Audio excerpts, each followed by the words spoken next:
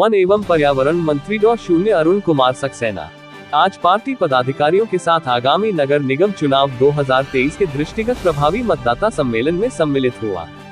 प्रभावी मतदाता सम्मेलन के माध्यम से भाजपा सरकार की जन कल्याणकारी नीतियों के बारे में मतदाताओं को जागरूक किया।